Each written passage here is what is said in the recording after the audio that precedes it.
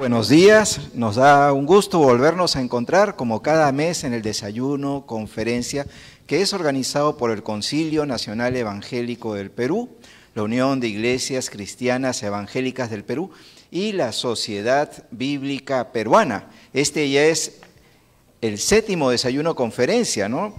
Eh, ¿Quiénes nos acompañan por primera vez? A ver, levante la mano. ¿Por primera vez? Ah, muy bien, bueno, ya entonces hay buen grupo que nos acompaña por primera vez. Empezamos en diciembre con Ser Iglesia el 2023. De ahí seguimos con equipando las nuevas generaciones, equipando para el discipulado, para el servicio, para la oración y para el ministerio virtual. ¿Qué nos une? ¿Qué cosa tenemos en común? Tenemos en común la palabra de Dios, la Biblia, e influenciar con valores bíblicos a nuestra sociedad. Lo segundo que tenemos en común es el llamado de Jesucristo a ser unos, a estar unidos, ¿no? Y es así de que este es un esfuerzo de varias organizaciones que tienen como misión el servir, eh, servir a la iglesia. Y estamos, lo que estamos haciendo es servir a la iglesia a través de temas que tienen que ver con equipándolos para la misión. Y como cada mes empezamos con un texto bíblico que tiene que ver con el tema de esta mañana, que está en Efesios 4:30 al 32. Dice la palabra de Dios, no entristezcan al Espíritu Santo de Dios, con el cual ustedes fueron sellados para el día de la redención. Desechen todo lo que sea amargura, enojo, ira, gritería, calumnias y todo tipo de maldad. En vez de eso, sean bondadosos y misericordiosos y perdónense unos a otros, así como también Dios los perdonó a ustedes en Cristo. Muy buenos días y el tema de hoy es equipando para la reconciliación. Esta mañana contaremos con tres exposiciones. Por parte de UNICEF, el pastor Heraldo García. Con él, pastor Carlos Aguilar y por parte de Sociedad Bíblica, la licenciada Ruth Díaz. Vamos a iniciar este tiempo en oración sin antes recordarles, por favor, poner su celular en vibrador para poder evitar cualquier interrupción. ¿sí? Los invito a ponerse de pie y vamos a empezar.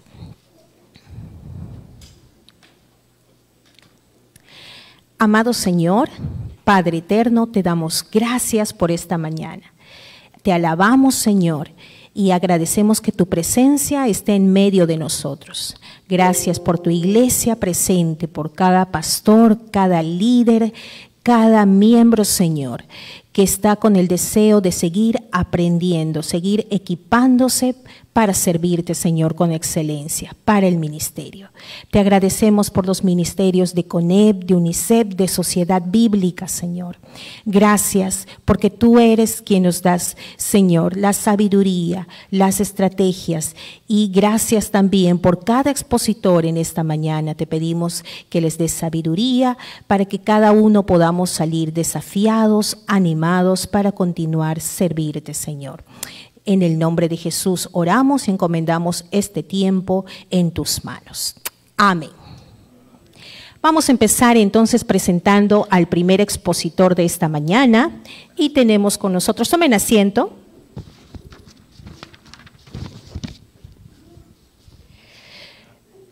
Vamos a presentar al pastor Heraldo García. Él es natural de Lancos, distrito fronterizo con Ecuador, tiene estudios en el Seminario Evangélico de Lima, tiene más de 29 años de ministerio pastoral en las iglesias de Lima y en provincias, en Sullana, Paiján, Moyobamba e Hilo. Actualmente es miembro del equipo pastoral de la Iglesia Catedral de Fe.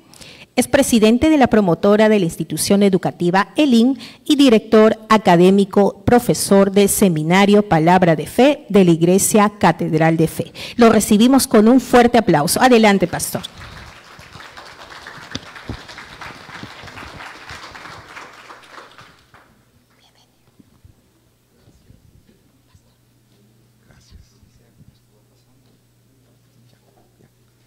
Muy buenos días, muchísimas gracias. Dios le bendiga a todos ustedes, amados pastores y hermanos. Eh, tengo una gran familia como son ustedes.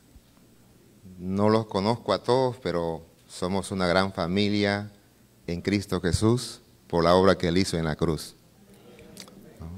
De diferentes lugares, diferentes regiones, pero en Cristo somos uno. Amén. Así que les abrazo con todo el corazón, queridos hermanos, una alegría de conocerlo, de estar con ustedes.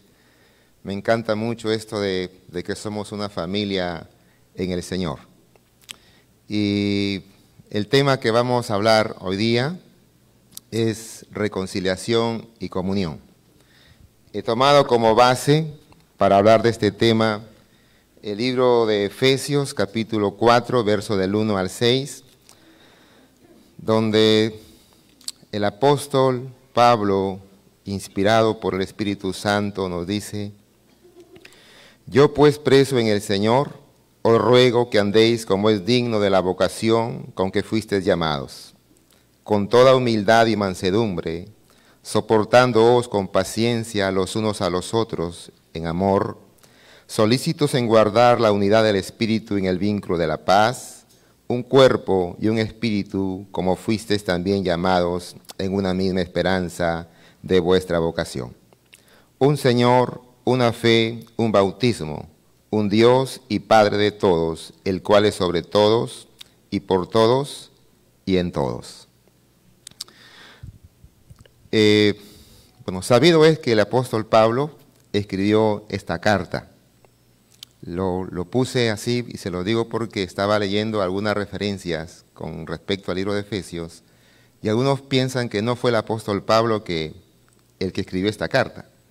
Entonces lo tomo como parte introductoria para afirmar que sí fue el apóstol Pablo quien escribió esta carta cuando él estaba en una cárcel domiciliaria allá en, Roma entre los años 62 al 65. Para algunos historiadores es unos años menos, pero cuestión de, fechas eh, siempre hay, diversidad. Eh, el apóstol Pablo conocía esta iglesia, la había visitado por, dos veces, como dice el libro de los, Hechos. Hay evidencias internas en el mismo libro, Efesios 3.1, 6.20, donde el mismo saludo de en la introducción, donde nos dicen que fue el apóstol Pablo que escribió, y también evidencias externas eh, que nos sirven para afirmar que fue el apóstol Pablo entonces quien escribió esta carta al libro de los Efesios. Hay una estructura en este libro. Los primeros tres capítulos son la parte teológica. Ahí nos habla de la identidad del cristiano, de lo que somos en Cristo Jesús, en resumidas cuentas. En la, en la segunda parte, en la segunda eh, de los capítulos 4 al 6, ya es la parte práctica. Ya, es la parte práctica. Eh, o sea, eso quiere decir que hay un balance en la, en la vida cristiana, hay un balance. Un asunto es la teología, otra cosa es vivir la teología. La teología es vivencial, es experimental. La teología no solamente es, es, conocimiento. El conocimiento es parte. La práctica también es muy importante. Y Pablo habla aquí en este libro de los Efesios las dos cosas, ese balance. Por eso cuando él dice, eh, andéis como es digno de la vocación, lo de digno tiene que ver con balance. O sea, si es que somos cristianos, tenemos que caminar en esta vida o vivir como cristianos. ¿Cierto? No, no se asusten, así es. Entonces, este, es interesante la, estructura de este, este libro que Pablo escribe a, la iglesia de Éfeso. ¿Qué más podemos decir? Eh, hay un tema principal aquí que, el apóstol nos habla. Nos habla, hermano, de la reconciliación que nosotros tenemos en Cristo mediante la cruz. Esto es importante para el tema que vamos a tratar.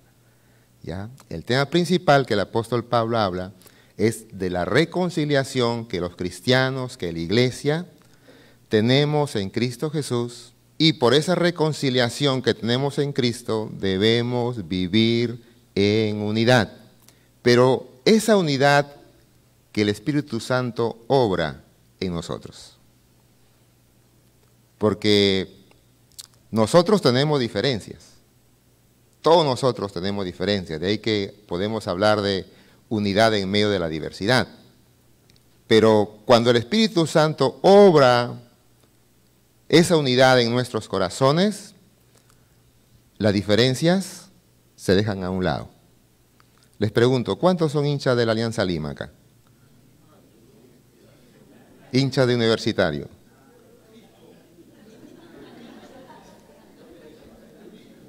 Todo está bonito, el desayuno, café muy rico, me he despertado, porque hoy día me levanté 4 y 20 de la mañana, se me quitó el sueño pensando en, el tema, en la conferencia, en ir pensando las, ideas, etcétera, ¿no? Este, no pude dormir y un tiempo de oración de 6 a 7 con hermano de la iglesia, de verdad que yo estaba queriendo cabecear, queriendo salir del Zoom para estar durmiendo, para estar bien acá. Vengo acá un rico café y uff, excelente. Yo no soy muy cafetero, pero el café me, me alivió muchísimo. Pero, ¿cuántos somos hinchas de Alianza? Hay pocos hinchas de Alianza porque se ha campeonado. Hincha de la U, 50% más uno. Muy bien. Todo puede estar bonito cuando estamos hablando de repente de fútbol, pero cuando se toque el clásico de los clásicos, entonces ahí como que se crispan las, las conversaciones, hay como que la unidad Suele pasar también en la, en la iglesia. Podemos estar en actividades, podemos estar haciendo, eh, no sé, tiempo de oración, tiempo de vigilia, tiempo de ayuno, todo está muy bien. Pero siempre hay cositas que a veces quieren dividir la iglesia. O a veces estamos juntos, pero por dentro estamos divididos. Entonces, esto es lo que pasa. Había un conflicto en la iglesia de, Éfeso. Por eso es que Pablo habla de la reconciliación como tema principal. La reconciliación de los creyentes, en este caso de judíos y gentiles, pero esa reconciliación estaba en Cristo cuando Él va a la cruz a morir por los creyentes, pues en sí, por todo el mundo, pero la gracia es efectiva en los que creen. Y habla de la unidad que debemos mantener, pero la unidad obrada por el Espíritu Santo. Eso es importante. ¿ya? Cuando el Espíritu Santo obre en nosotros y obviamente que nosotros dejamos que el Espíritu Santo obre, las diferencias se dejan a un lado. Pablo trata este tema. ¿Por qué? Porque había un conflicto en la iglesia de Éfeso. Había un conflicto entre los judíos y los gentiles. La iglesia de Éfeso estaba conformada entonces por judíos y por gentiles. La carta está dirigida mayormente a los gentiles. Nosotros leemos la carta y siempre dice los gentiles, los gentiles, los gentiles, que está dirigida mayormente a los, a los gentiles. Pero también habían judíos. ¿Qué pasaba con los judíos? Los judíos se creían exclusivos, pues. Eran los únicos escogidos por Dios, decían ellos. La gracia, o perdón, la salvación es para nosotros y los gentiles no. Pues había una exclusividad que ellos se creían exclusivos, redundando la palabra.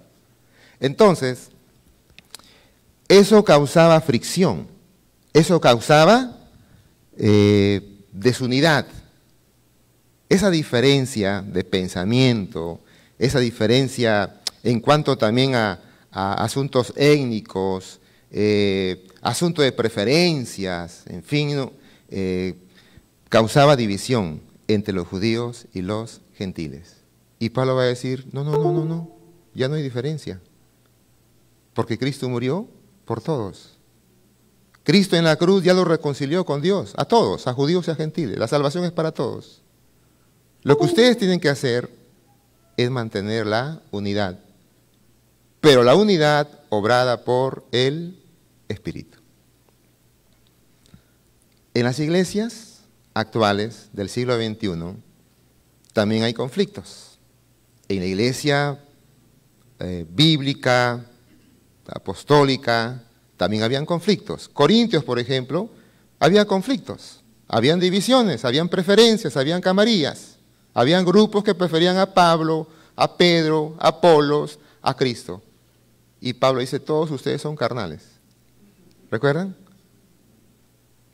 ¿Por qué? Porque ellos no vivían en esa unidad obrada por el Espíritu. No habían entendido la reconciliación, el sacrificio que Cristo había hecho en la cruz para, para hacerlos una sola iglesia.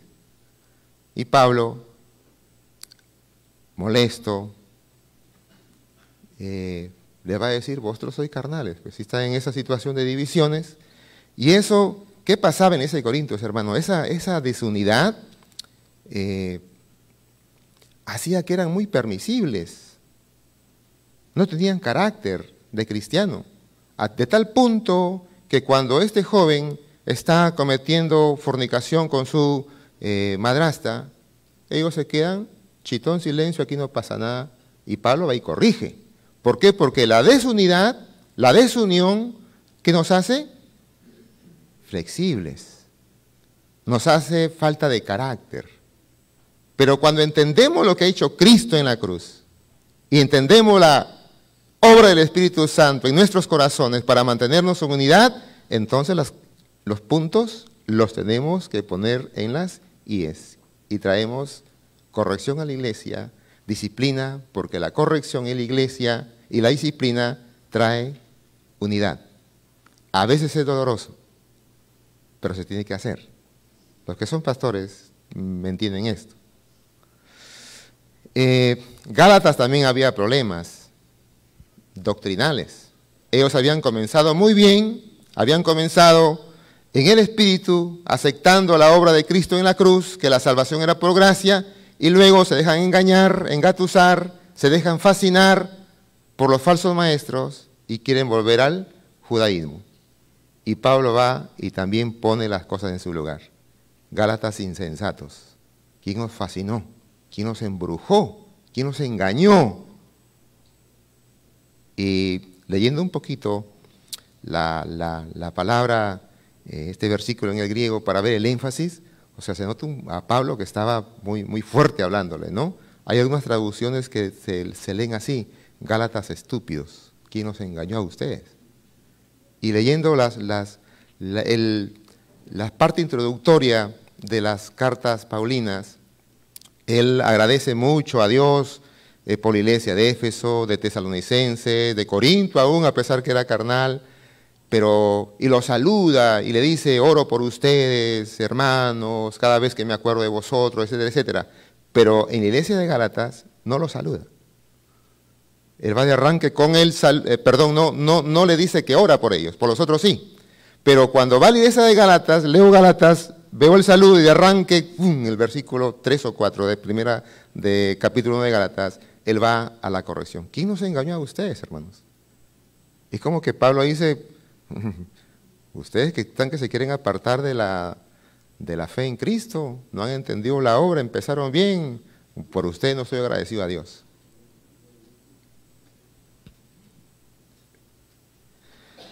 Entonces en la iglesia de los tiempos bíblicos habían conflictos. Les pregunto, ¿Cuáles son los conflictos que nosotros como iglesia en este siglo XXI estamos viviendo?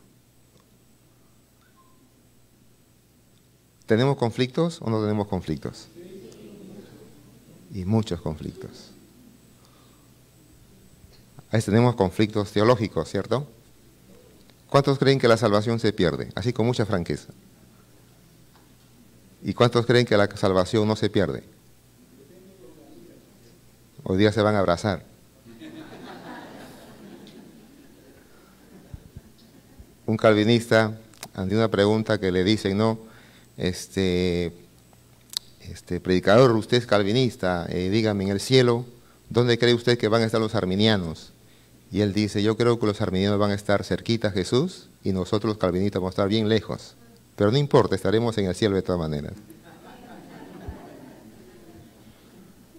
Hay conflictos a veces teológicos entre nosotros. Eh, eh, yo no me hago mucho problema porque sé que son posturas, ¿no? Sé que son posturas, no, no es dogma. Usted sabe que la salvación es por, por gracia, por medio de la fe. Es el dogma. Eso todo lo, todo lo, lo aceptamos y vivimos en ese dogma. Ya postura, ¿se pierde? No se pierde. Esa es postura. Y no, salvo, y no somos salvos porque creo que la salvación se pierde o creo que la salvación no se pierde, porque eso no, no es gracia, ¿no es cierto? Esa es enseñanza, eh, doctrina de cada dominación, de cada uno de nosotros. Pero a veces esas cositas nos separan, porque hacemos un conflicto donde no debe haber un conflicto, porque no hemos entendido que Cristo Jesús en la cruz nos reconcilió con el Padre para que todos nosotros seamos uno. No importa las diferencias de posturas teológicas. En cuanto a dogmas, todos hablamos un mismo lenguaje. Eso nos une, porque siempre el dogma es cristocéntrico. Ahora, hay conflictos, obviamente, y esos conflictos nosotros tenemos que superarlos, hermanos. Porque no es bonito vivir con conflictos. A ver, cuando usted tiene un conflicto con una, con una persona, con un hermano de la iglesia, ¿usted duerme tranquilo? No, usted está preocupado. Y si guarda amargura, guarda resentimiento, guarda rencor, dicen algunos que hasta se producen enfermedades psicosomáticas. Por eso Dios no quiere que guardemos esas cosas. Él quiere que superemos los conflictos. ¿Quiénes producen los conflictos? Los divisores. Y hay que tener cuidado con los, con los divisores. Romanos capítulo 1, creo que no, recuerdo bien ahora si me lo pones en la pantalla. Ah, ahí estamos. Dice, tengamos cuidado con los divisores. Más os ruego, hermanos, que os fijéis en los que causan divisiones y tropiezos en contra de la doctrina que vosotros habéis aprendido y que os apartéis de ellos. Cuando hay alguien que está causando conflictos doctrinales, entonces hay que, hay que tomar decisiones. Una, una cosa puede ser llamarlo, corregirlo, enmendarlo, y si no, hay que tomar otra decisión. Pero el conflicto, de una u otra manera, debe tener, debe tener solución. Hay que solucionar el, conflicto. Y Jesús, le reitero, en la cruz solucionó el conflicto entre los creyentes. Y eso para nosotros es interesante, importante entenderlo, comprenderlo, que se encarne en nosotros esto en Jesús, en la cruz, hay solución a los conflictos en las iglesias, pero hay que también experimentar, y de aquí se los explico. Entonces, hay, hay, este, hay conflictos, es cierto. Y Pablo propone algo acá. ¿ya? Dice, promover unidad particularmente entre los creyentes gentiles y judíos como una iglesia vista como un cuerpo en Cristo. ¿ya? Esa es la propuesta. O sea, Pablo está diciendo, vivan en unidad, sean unos en Cristo, ya son uno, ahora vivan, viven esa, vivan, esa unidad, porque ya en Cristo son uno, son una iglesia, un cuerpo, que tienen un Dios, un Señor, un espíritu, una fe, un bautismo. Pablo quiere que la iglesia de Éfeso viva en unidad y propone esto. Por eso es que este es el tema principal, como les decía ah, casi al inicio, de la, de la carta de Éfeso. Muy bien, ahora, eh, ¿qué debemos hacer? ¿Cuáles son las, cuáles son las, las razones para mantener la unidad? ¿Ya? ¿Cuáles son las razones? Miren, hay que entender que la salvación es por gracia.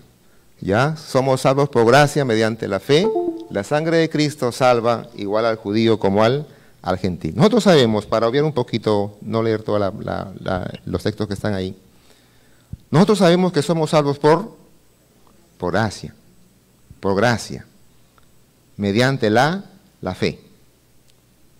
¿Ya? Somos salvos por gracia, mediante la, la fe. La fe es el medio para creer que somos salvos por gracia. ¿Cierto? Efesios 2.8 va a decir, por gracia sois salvos, mediante la, la fe, la fe. Y aquí de repente les arma un conflicto, miren, un conflicto teológico. No somos salvos por fe. ¿Por qué somos salvos? Por gracia. ¿Y de qué nos sirve la fe?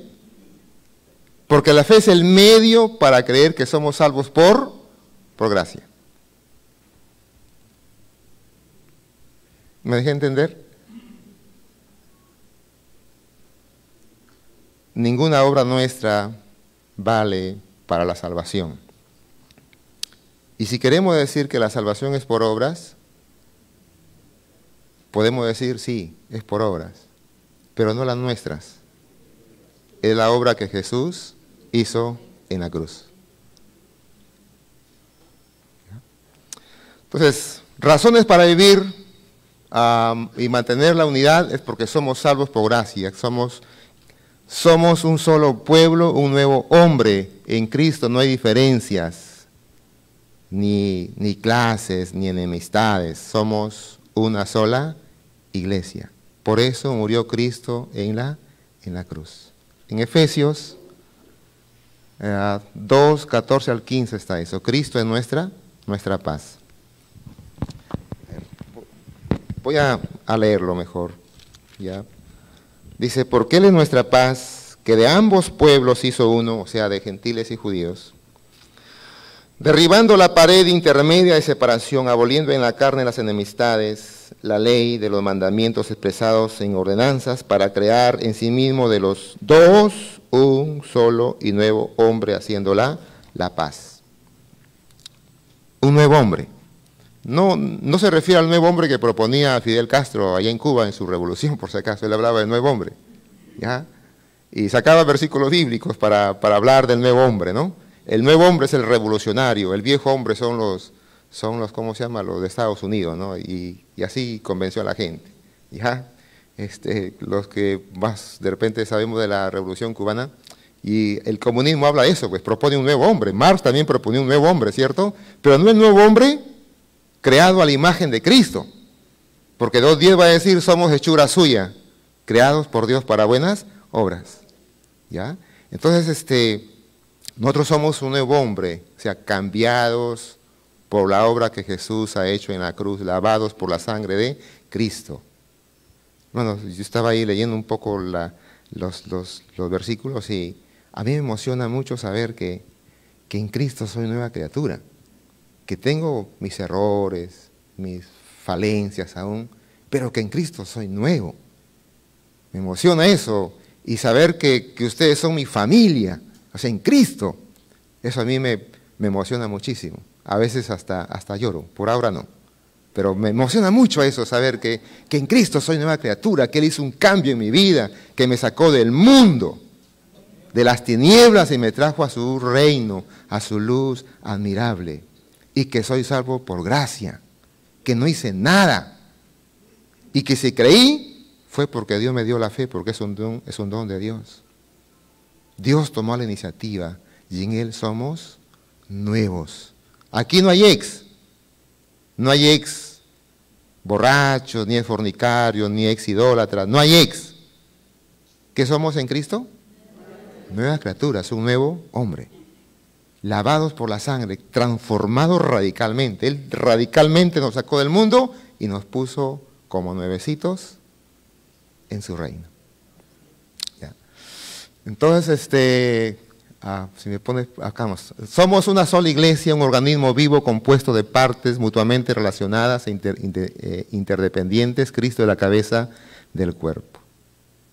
Somos una sola iglesia. Tenemos diferentes dones, diferencias culturales a veces, porque somos de diferentes regiones. Yo vengo de la región de la costa. De la costa ¿ya? Eh, soy de un pueblo pequeño, ustedes ni lo conocen, fronterizo con Ecuador, como ya leía la hermana, un pueblo más o menos formado de 500 familias que yo recuerdo. Eh, me gusta el ceviche, y yo no tengo problema cuando el ceviche me lo sirven con culantro y con tomate. ¿Por qué? Porque así, así lo preparan en el norte, en algunos lugares. Pero cuando me lo sirven con apio, como lo preparan acá en Lima, Y a veces le echan ajito y yo digo, no me lo adereces, pues déjamelo así nomás. Eh, me gusta más el ceviche con, con el rocoto, con el ají entero, que molido. Y con hueso, así es, con hueso, así. Sí, sí, sí. Tenemos diferentes, somos diferentes por las regiones donde, hemos, nacido. ¿ya? Pero sin embargo en Cristo somos uno porque somos una sola iglesia y Cristo es la autoridad, es la cabeza de la iglesia. Son razones por las que debemos estar en unidad. Y lo otro, somos una nación santa, hermanos, esto es precioso. Hay muchas naciones en el mundo y aún nuestra nación involucrada en corrupción. Pero nosotros como iglesia, ¿qué somos? Una nación santa, santificada por Dios, apartada para Él. Y obviamente que tenemos que vivir en santidad. Miembro de la familia de Dios y templo del Espíritu Santo. Somos morada. ¿Te imaginas que el Espíritu Santo mora en ti? O sea, por eso es que debemos mantener siempre la, la unidad. Pero ¿dónde empieza la unidad? En la cruz. Ahí donde Cristo nos reconcilió con Dios y esa unidad la obra el Espíritu Santo para que todos seamos uno solo. Vayamos, por favor. Este, y ahora sí, vamos a ver algunas cositas. en las, la, ¿Cómo mantener esta unidad ahora? ¿Ya? ¿Cómo mantener esta unidad? Bien, eh, debemos vivir, eh, como dice Efesios 4.1, debemos andar como es digno de la vocación en la que hemos sido llamados. Y eso de andar como es digno tiene que ver, tiene que ver con nuestro estilo de vida. Y es una figura que tiene que ver con nuestro estilo de vida. Lo de digno, como le decía, tiene que ver con un balance. 1.3, del 1 al 3 de Efesios, la teología. Del 4 al 6, la práctica. Lo, de andar como es digno tiene que ver con un balance. Quiere decir, somos salvos por gracia. Perfecto. Camina como salvo, come como salvo, habla como salvo, duerme como salvo, todo como salvo. ¿Entienden el equilibrio?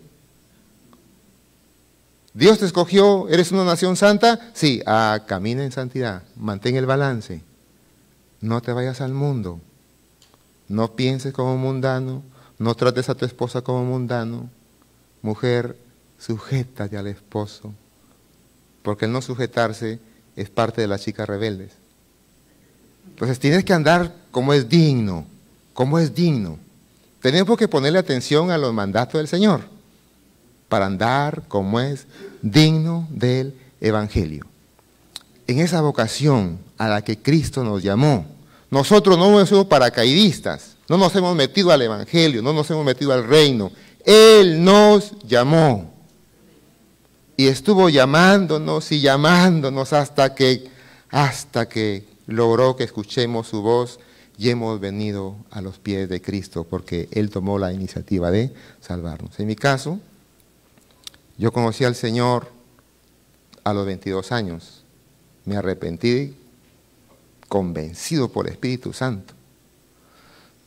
Ah, a, los, a los 12 años me comencé a comenzamos pues a darme los cursos de catequesis, de catecismo, y en fin, ¿no? A los 14 años tuve la idea de ser cura. Pero después dije, los curas no tienen hijos, no se casan. Yo sí quiero tener hijos. Y de cura me voy a ensartar, pues no. A los 22 años cometí mis cosas, de 16 a los 22, y convencido por el Espíritu Santo él me trajo a su reino. Y entendí que vivir el Evangelio ah, o, ser cristiano es teoría y práctica a la vez. ¿Cómo vivir? en ese equilibrio, esa vida digna, esa vocación, ese llamado que Cristo nos ha hecho. Pablo nos dice en Efesios, con toda, no con poca, es con toda, al 100%, con toda humildad y mansedumbre. Estas son las palabras que también nos dijo el Señor Jesús. Aprended de mí que soy manso y humilde de, de corazón. Esto tiene que ver con lo interno. Una definición práctica, sencilla, que le escuché, es humildad es cero orgullo. Y pregunto, ¿cuántos somos cero orgullo? La valla está bien alta, ¿no? La valla está bien alta. Pero el Señor nos dice, vive como es digno de la vocación a la que te he llamado, con toda humildad, cero orgullo. Porque cuando hay orgullo, ¿qué cosa va a haber? Separación. No hay unidad. Y a veces nos orgullecemos por cosas que ni siquiera tienen valor. Porque así es nuestra naturaleza, pecaminosa.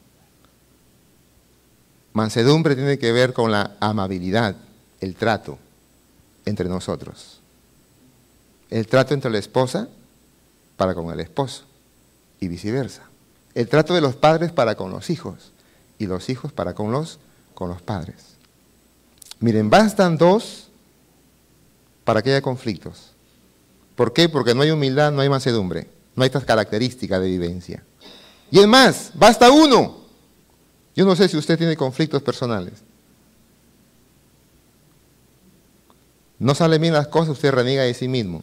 Yo he escuchado personas decir, qué tonto, qué torpe soy, este, no sé qué. Y ah, no, este, este tiene conflictos. No se acepta a sí mismo cuando se comete errores. ¿Por qué? Analícelo. En el fondo, falta humildad y falta mansedumbre aún con él para con él mismo. Entonces, Pablo nos dice, muy bien, ustedes ya son salvos. Hay razones en el capítulo que nos explica de que deben vivir en unidad y nos explica la reconciliación que, Dios, que Jesús ha hecho en la cruz para que estemos bien con Dios. Y nos dice, estas son las características. Entonces que ustedes deben tener si es que están en esa reconciliación. Humildad, ser orgullo, mansedumbre tiene que ver con el trato entre nosotros, pero tiene que ver con lo interno, porque a veces podemos tratar bien por fuera, pero por dentro lo queremos agarrar del cuello. Por eso tiene que ver con lo interno. Y acá va lo externo. Eh, soportándoos con paciencia los unos a los otros en amor. Paciencia y amor son las características que debemos desarrollar para soportarnos. Cuando pasan conflictos, fricciones entre nosotros, recuerde, la santa paciencia es importante. Debo tener paciencia con este hermano que no está de acuerdo conmigo. Paciencia con él porque tiene una postura teológica diferente a la mía. ¿Y qué más tengo que hacer? Tengo que amarlo.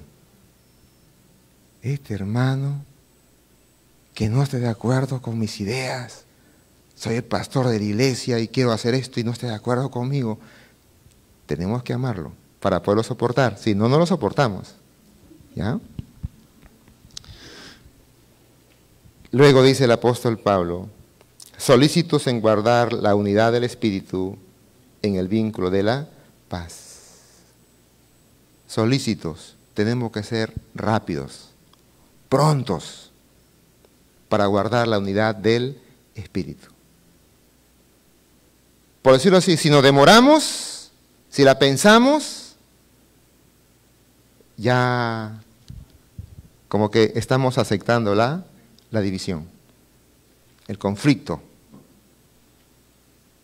Y la sangre comienza, y la cabeza comienza a latirnos y el corazón comienza a acelerarse y pensamos que tenemos la razón, pero cuando dejamos que el Espíritu Santo obre en nosotros, en los desacuerdos que a veces pasan entre nosotros como creyentes, como familia, somos rápidos para dejar que el Espíritu Santo obre, entonces la, la unidad se mantiene, se guarda. Y hay una característica más, en paz. ¿ya? Si no tenemos paz, vamos a reventar en cualquier momento. Jesús dijo, bienaventurados los pacificadores. ¿Quiénes son los pacificadores? No solamente los que anuncian paz, los pacificadores son aquellos que tienen paz. Jesús es el príncipe de paz y él vino como un pacificador a esta tierra para que nosotros aprendamos a vivir en paz y Él nos dejó de su, de su paz. Él fue castigado en la cruz para que nosotros tengamos paz en Él. Es la paz de Dios en nosotros.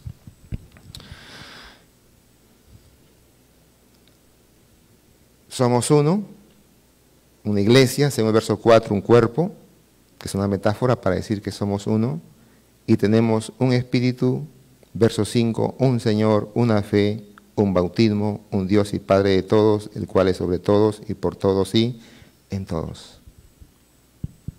Somos uno en Él, porque Él también es, Él también es uno. Ah, Jesús oró por la unidad de la iglesia. ¿Ya? Miren, vamos a, Juan 17. No está el verso completo ahí, en la, en la, estaba repasando. Juan 17, y quería leerlo porque es, interesante, hermanos, que la unidad entre nosotros testifica. ¿ya? Evangelizamos con la unidad. Este, dice Juan 17, 20. Más no ruego solamente por estos, sino también por los que han de creer en mí, por la palabra de ellos. Éfeso estaba formada por gentiles y por judío de esa época. Pero Jesús oró por nosotros, por los que han de creer en mí a futuro, por la palabra de ellos. Pero una palabra no solamente de labios, sino una palabra que salga del corazón, pero también manteniéndonos en unidad. La unidad testifica. Para que todos sean uno, como tú, oh Padre, en mí y yo en ti, que también ellos sean uno en nosotros, para que el mundo crea que tú me enviaste. ¿La unidad testifica o no?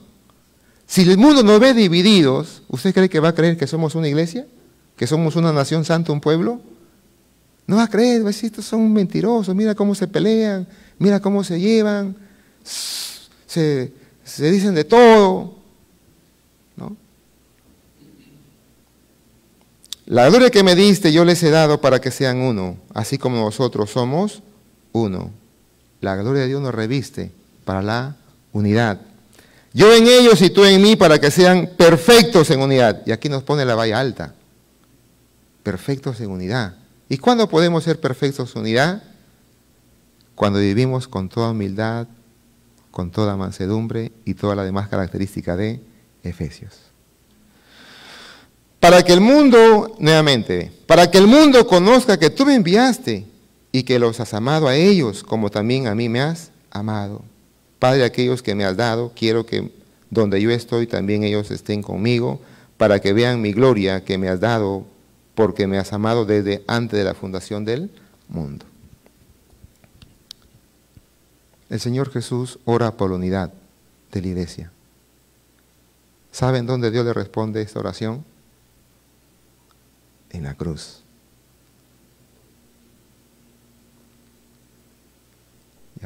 Pablo va a decir en, eh, a la iglesia de Éfeso que hemos sido reconciliados, hemos sido reconciliados, porque Él es nuestra paz,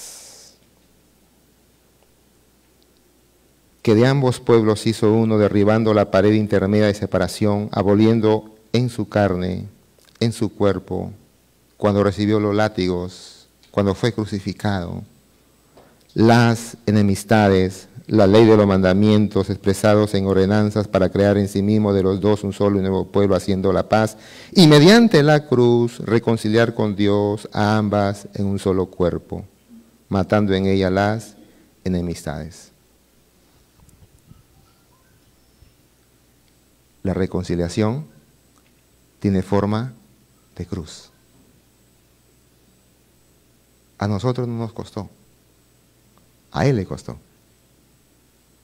Él pagó el precio para que la iglesia sea una y vivamos siempre reconciliados y en comunión, a pesar de nuestras diferencias. La reconciliación tiene un precio, tiene un sacrificio. Él murió para que seamos una sola iglesia. Por eso, mis amados hermanos, si hemos sido reconciliados por Cristo para con Dios en la cruz, nosotros debemos siempre pensar en lo que Él hizo y dejar obrar al Espíritu Santo en nosotros. Y vamos a superar las diferencias. Hay a veces desarrollo de jerarquías, totalitarismos en las iglesias, enemistades a veces, y debemos dejarlas a un lado. ¿Ya? Debemos dejarlas a un lado y debemos amarnos los unos a los otros para poder impactar al mundo con el mensaje, no solamente teórico, sino también práctico. El mundo ustedes saben, está polarizado. Políticamente polarizado. Pero la iglesia debe impactar a ese mundo polarizado para que ellos también vengan a Cristo, porque la unidad testifica. Cristo Jesús en la cruz nos hizo uno.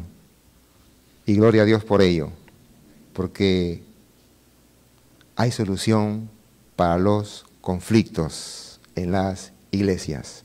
La sociedad de hoy, Lima, el Perú, necesita ver a la iglesia unida, reconciliada,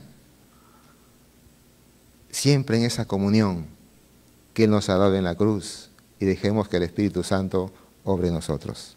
Muchísimas gracias. Vamos a orar. Padre, te damos las gracias a ti, porque enviaste a Jesucristo para que en la cruz pague el precio de salvación para todos nosotros, Señor. Rogamos que tu Espíritu Santo siga obrando en nuestros corazones para mantener la unidad como iglesia y así testificar de ti, no solamente eh, con palabras, con mensaje, sino también con nuestros hechos, con nuestros actos. Gracias Señor por todo. En el nombre de Cristo Jesús. Amén. Amén. Gracias, hermanos. Agradecemos al pastor Heraldo García, representante de UNICEF, y nos quedamos con la frase de que la teología tiene que ser vivencial, que tiene que haber un balance entre la teología y la vida cristiana y que el Cristo Jesús vino a nosotros para darnos vida nueva. Y vamos a continuar con el segundo expositor y voy a invitar a la secretaria ejecutiva del Concilio Nacional Evangélico, la hermana Yolanda Rabines, a que nos presente al siguiente expositor.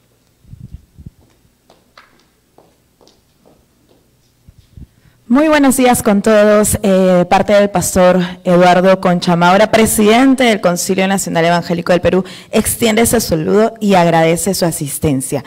El día de hoy, bueno, estamos equipando para la reconciliación. Muy importante lo que el pastor nos enseñaba, ¿no? Me quedo con que la reconciliación tiene forma de cruz.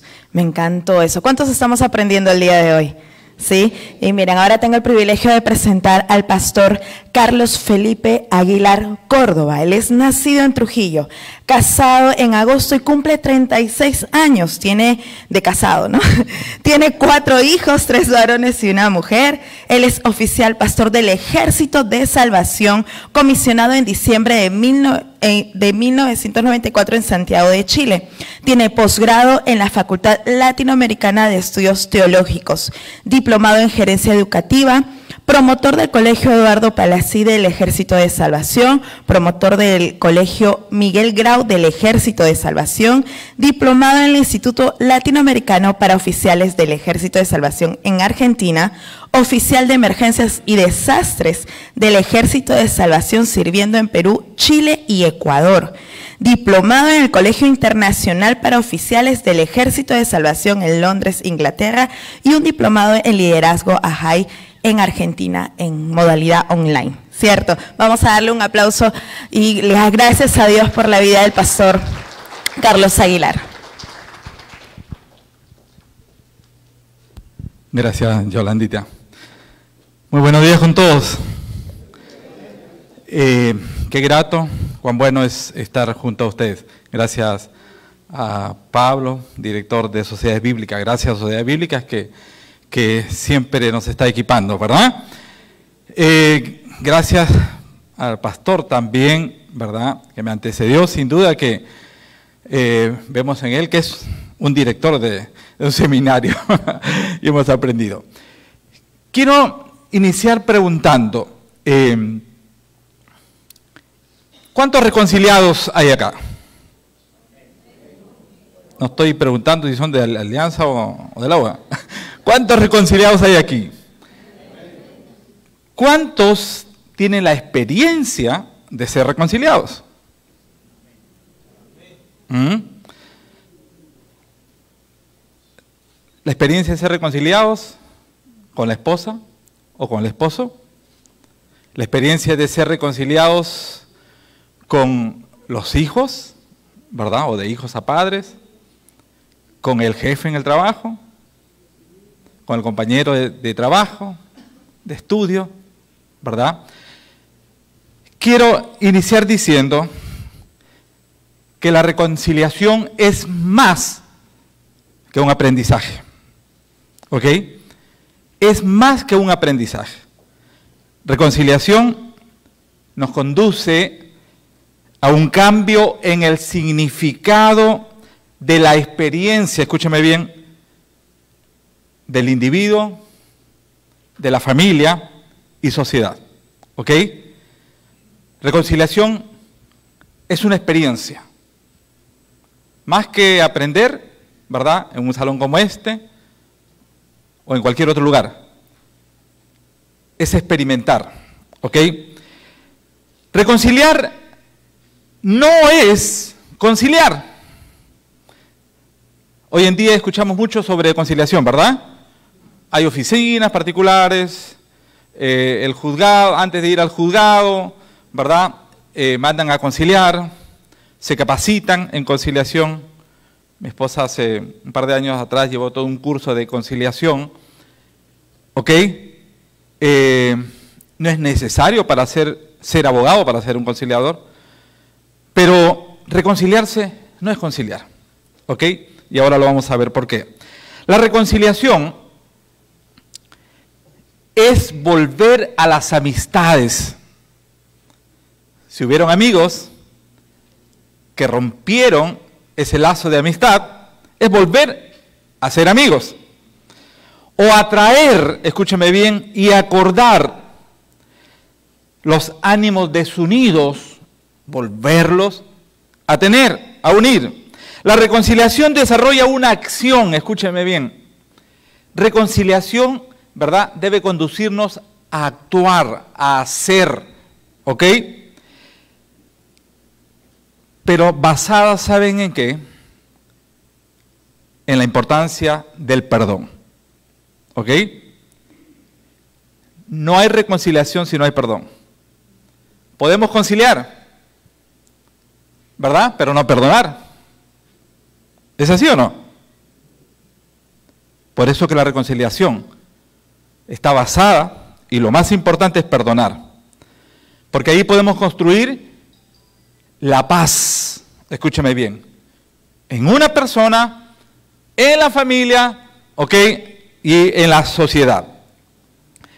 Ahora, cuando hablamos de construir la paz basada en el perdón, estamos hablando de esa paz verdadera, ¿ok? Una paz, no una paz superficial, una paz trivial, una paz por conveniencia, ¿verdad? Sino una paz verdadera, la cual nos debe llevar a una esperanza de una vida mejor. El concepto de conciliar para ver la diferencia con reconciliación, ¿ok? La conciliación desarrolla la convivencia o semejanza de una cosa con otra, ¿ok? La conciliación trabaja un acuerdo de litigantes para evitar un pleito o desistir del ya iniciado. Conciliar es acordar, es compatibilizar, es convenir, etc. Yo me pongo de acuerdo con alguien, pero no necesariamente me reconcilio. ¿Verdad? De acuerdo a los intereses, conciliamos, pero no nos reconciliamos. ¿Me están siguiendo? Ok. Pero reconciliar, ¿verdad? Reconciliar va más allá de ello, como hemos mencionado. ¿Qué dice la Biblia con respecto a la reconciliación? En los evangelios aparece de esta forma, en Mateo 5, verso 23 y 24. Si al presentar tu ofrenda en el altar, te acuerdas entonces de que tu hermano tiene algo, ¿verdad?, contra ti, deja tu ofrenda, allí dice, y luego ve primero y reconcíliate con tu hermano. Aquí nos damos cuenta que el reconciliar es una acción, es hacer, ¿verdad? Es hacer, va más allá simplemente de conciliar, va más allá de un mero aprendizaje, es hacer.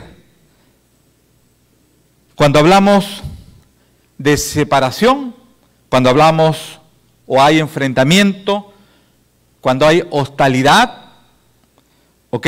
Resentimiento, todo aquello es lo contrario a reconciliación. ¿Ok? Separación, enemistad, hostilidad, resentimiento, ¿verdad? Y muchas otras cosas más es lo contrario a reconciliarse. Y esto podemos verlo, ¿verdad? En nuestros propios hogares, en la iglesia, en los lugares donde nosotros nos movemos, en nuestro círculo de influencia, podemos verlo a diario. Las escrituras, y yo creo que todos los que estamos aquí, porque aquí, ¿verdad? Tenemos pastores, líderes, con muchos años de experiencia, las escrituras nos hacen ver de que por un hombre, Adán, ¿verdad? Dice las escrituras, ¿qué cosa entró? La hostilidad, entró la enemistad, entró la separación en el mundo. ¿Ok? Por un hombre. Pero también las escrituras, la palabra de Dios, ¿verdad? Nos dice que a través de un hombre, Cristo, Cristo, ¿verdad? Entró la reconciliación, la salvación y la paz en el mundo. Amén, hermanos.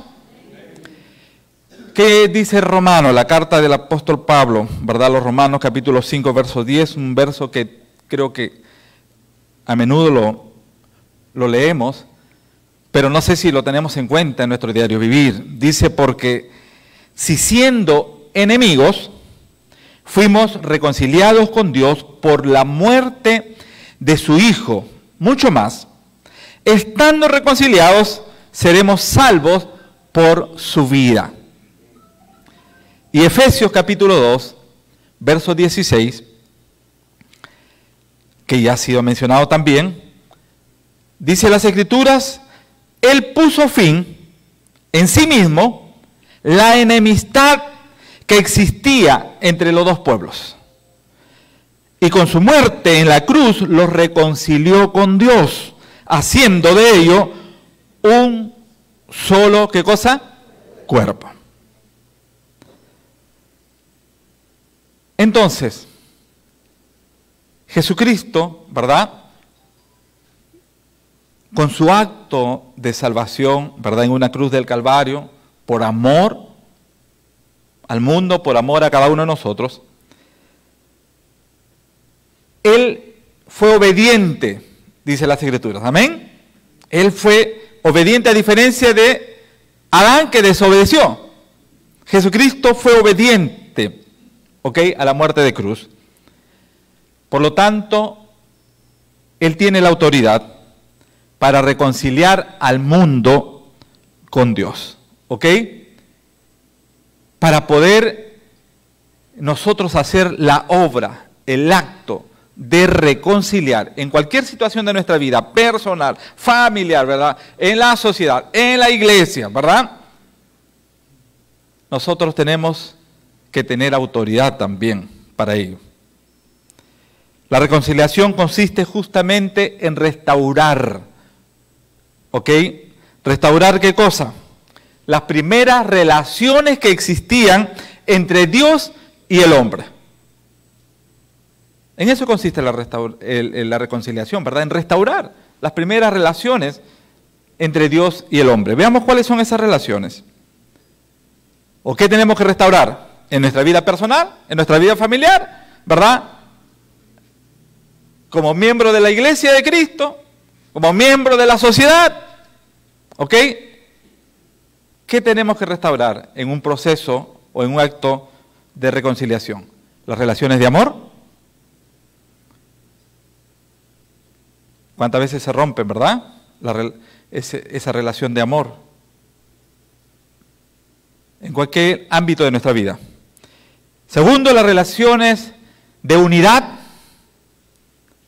Claro que se rompen, hay separación, hay enemistad, ya no hay unidad.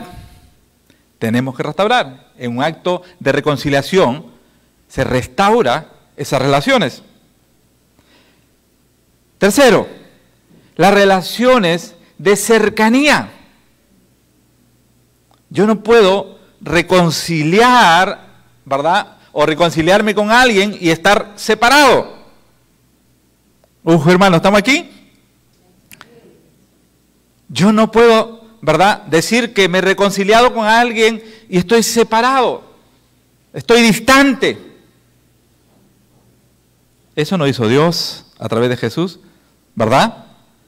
Sino nos acercó la reconciliación en el acto de Cristo, nos acercó a Dios el Padre. Por lo tanto, es necesario que en el accionar de reconciliación tenemos que restaurar las relaciones de cercanía. Y cuarto y último, relaciones que tenemos que restaurar en un acto de reconciliación son las relaciones de comunión. Amén. De comunión. Y todos yo creo que los que estamos aquí entendemos sobre eso. Por lo tanto, para retroalimentarnos de lo que hemos estado mencionando. Reconciliación va más allá de un aprendizaje, ¿ok? Debemos tenerlo claro eso. Reconciliación es el significado de una experiencia de cada individuo, de cada familia, de la sociedad, ¿ok? Reconciliación no es conciliar solamente, ¿sí? Es bueno conciliar, pero no es solamente eso, ¿verdad? Va más allá. Para poder hacer un acto de reconciliación, ¿verdad? No lo hace cualquiera porque estuvo en un día como este, ¿verdad? Equipándose para la reconciliación. sino hay que tener autoridad.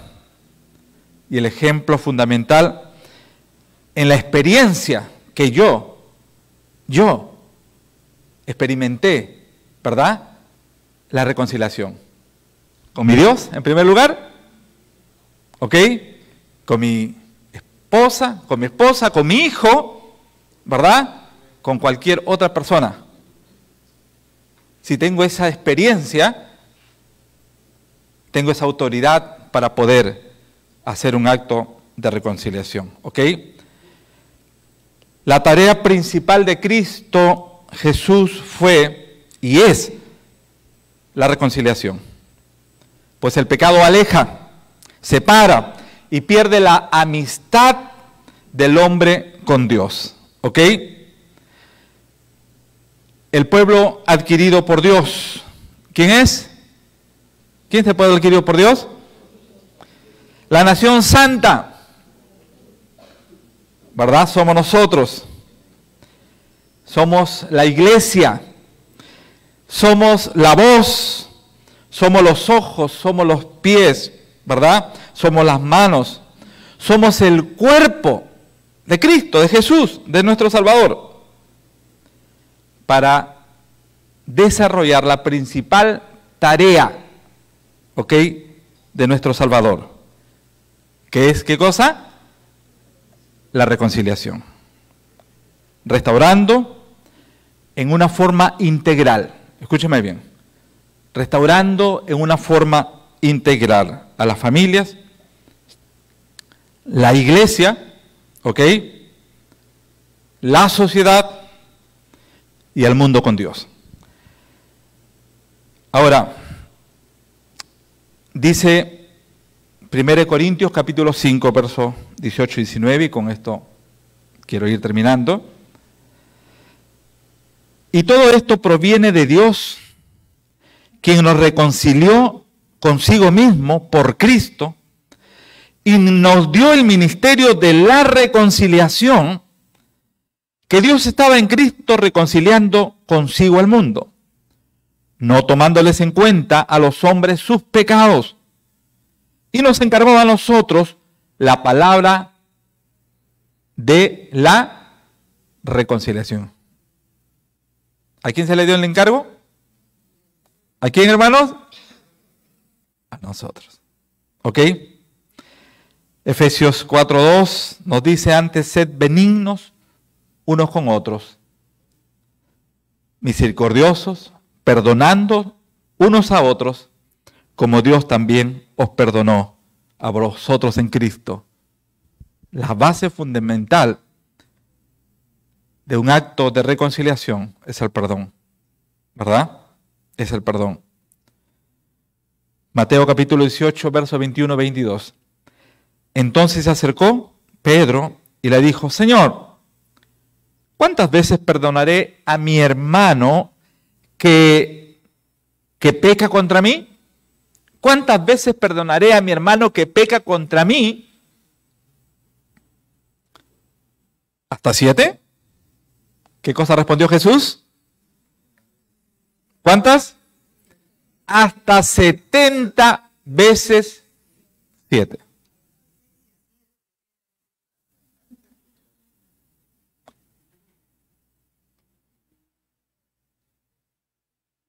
si hemos sido reconciliados, ¿verdad? Tenemos experiencia, tenemos la autoridad para ejercer actos de, reconciliación en cualquier ¿verdad? situación de nuestra vida. Empezando por nosotros, empezando con nuestra familia, en cualquier lugar de nuestra sociedad y por supuesto en la iglesia. Que Dios pueda añadir bendición a nuestras vidas y que sigamos equipándonos en Dios, pero sobre todo sigamos siendo, ¿verdad?, esos reconciliadores, lo cual Jesús nos ha entregado esa tarea. Amén. Porque somos sus ojos, somos sus manos, somos sus pies, somos el cuerpo de Cristo aquí en la tierra. Hasta cuando el Señor, ¿verdad? Venga una vez más por su iglesia. Dios nos bendiga, hermanos. Muchas gracias por su atención. Muchas gracias, Pastor Carlos. Qué importante, estamos siendo desafiados por la palabra de Dios y me quedo con lo que usted dijo, la reconciliación es más que un aprendizaje, es un llamado a la acción. Bueno, vamos a continuar eh, con la conferencia de hoy, todavía no terminamos, tenemos una exposición más. Y es para mí un privilegio y muy grato presentar a alguien de la familia de Sociedad Bíblica Peruana, ella es la licenciada Ruth Díaz, una compañera a la cual estimamos mucho. Ella es bachiller en educación cristiana en el Seminario Bíblico Teológico Bautista. Es licenciada en teología del Instituto de Superación Ministerial Internacional ISUM. Tiene un diplomado internacional de ciencias bíblicas de las Sociedades Bíblicas Unidas es Master Facilitator de Trauma Healing Institute del American Bible Society y es coordinadora de programa Sanando Heridas de Sociedad Bíblica Peruana. Por favor, recibámosles con un fuerte aplauso. Adelante, Ruti. Bienvenida.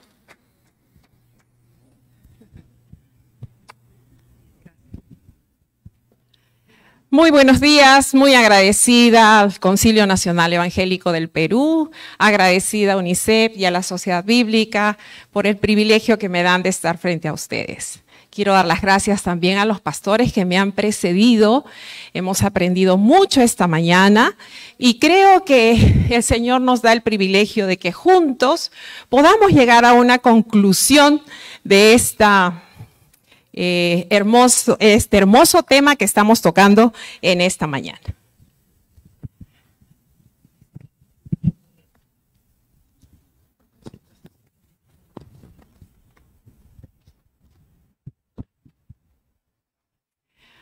Muy bien, nuestro tema, equipando para la reconciliación, Hemos visto nosotros eh, en las dos conferencias anteriores la importancia de la palabra de Dios para comprender este tema, ¿cierto? Y qué bueno que nos hayamos enfocado en las cuatro paredes de la iglesia local. Qué lindo es estar reconciliado dentro de la iglesia local, ¿verdad? Pero cuando salimos de la iglesia, ¿qué es lo que pasa? ¿Seguimos reconciliados?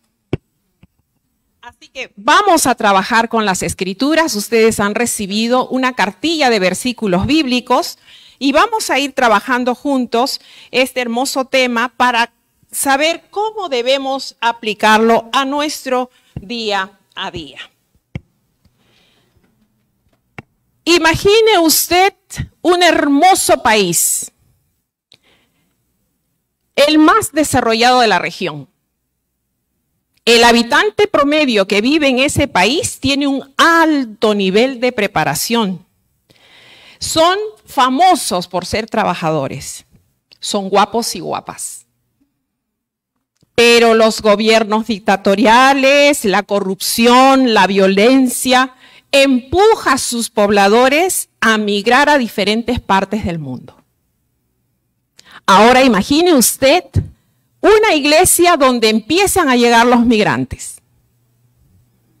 El pastor Gerardo, que dirige esta iglesia, empieza a recibir a los migrantes y está dispuesto a trabajar con ellos.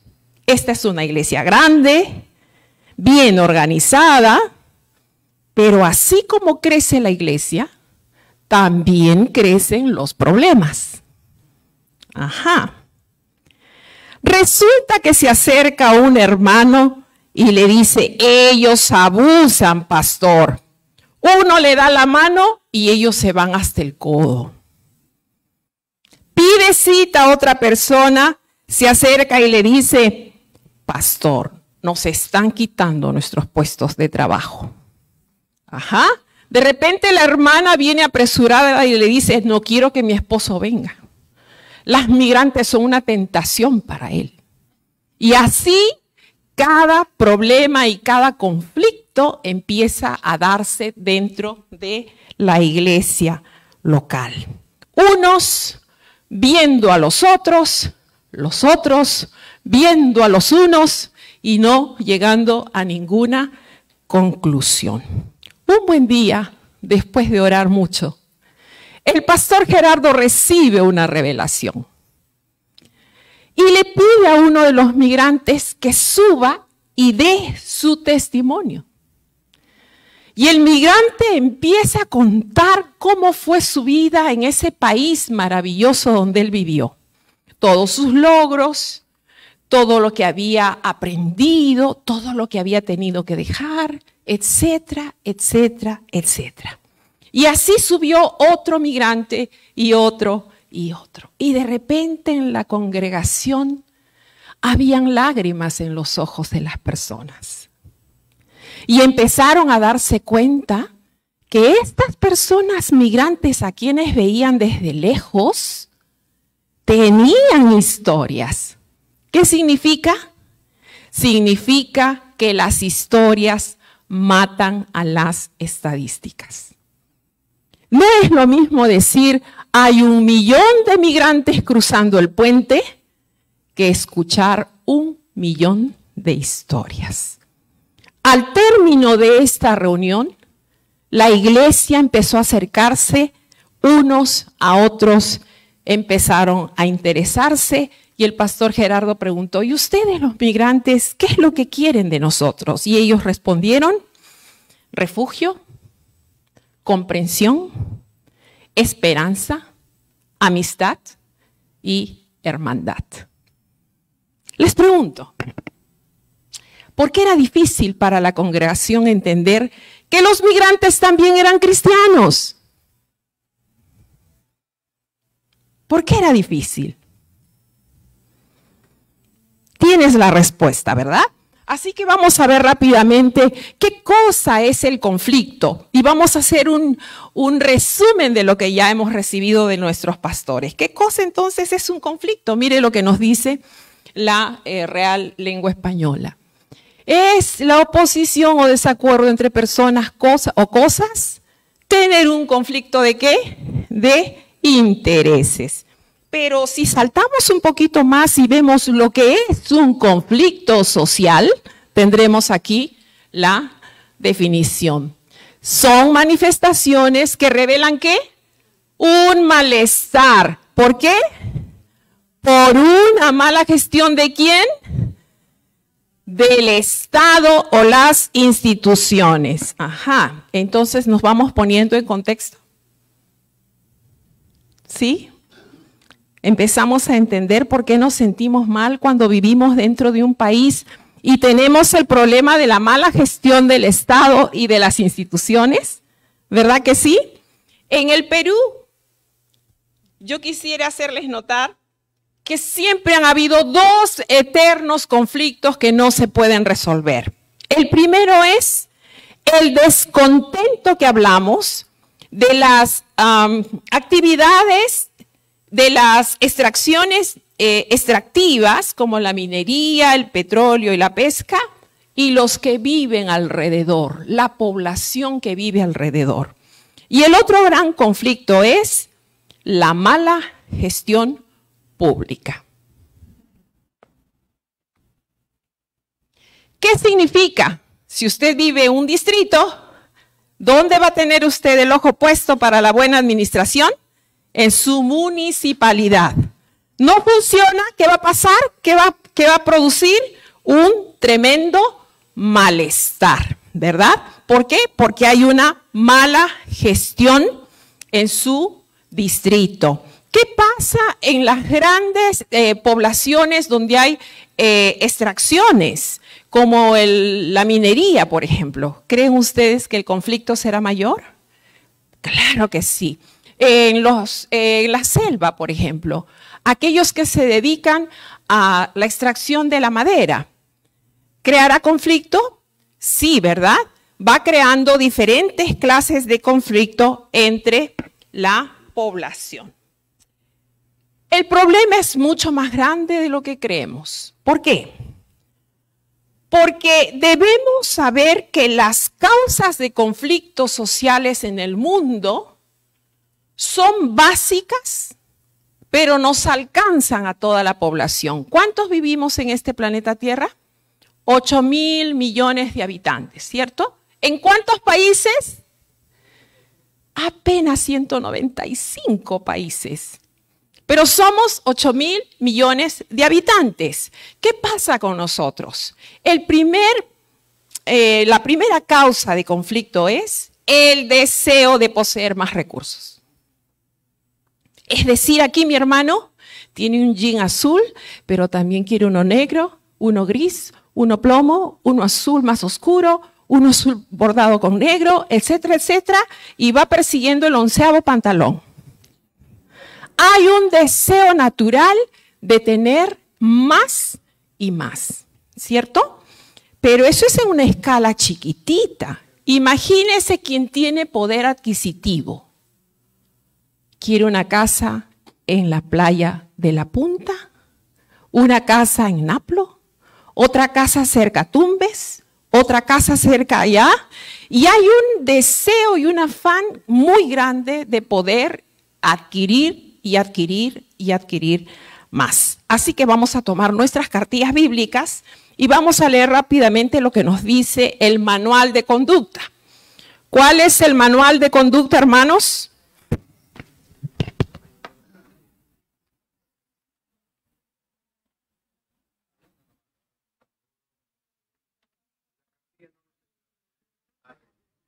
¿El manual de conducta cuál es?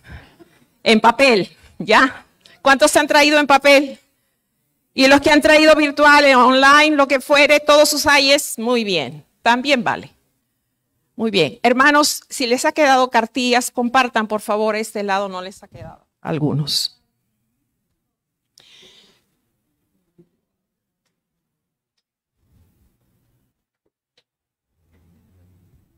Estamos entonces en qué nos dicen las escrituras. Alguien se pone de pie rápidamente y lee Santiago 4 del 1 al 3. Así, como lluvia de textos.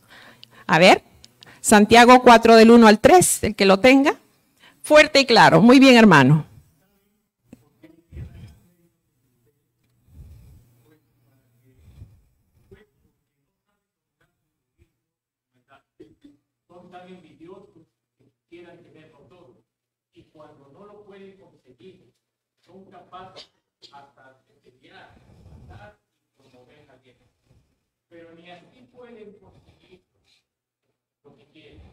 ustedes no quieren, porque no se lo piden a Dios. Cuando piden, lo hacen mal, porque lo único que quieren es satisfacer malo. Muchas gracias, ¿no? El manual de conducta nos dice exactamente cuál es nuestro diagnóstico, ¿no es cierto? Queremos tanto que nos vamos hasta la guerra y cuando le pedimos a Dios lo que queremos, le pedimos tan mal que no lo recibimos. Qué interesante. Entonces, la primera gran causa de conflicto en el mundo, ¿qué cosa es? El deseo de poseer más recursos. ¿Cuál es la segunda causa?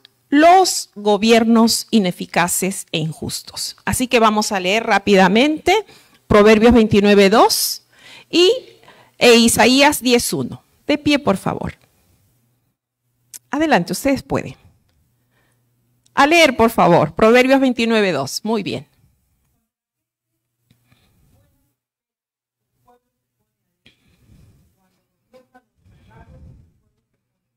¿Perdón? ¿Cuando gobierna quién? Ajá.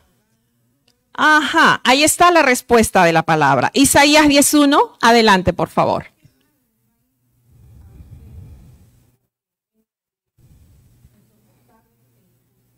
Muchas gracias, hermana. Otra vez tenemos la respuesta bíblica. Seguimos, Isaías 1.23.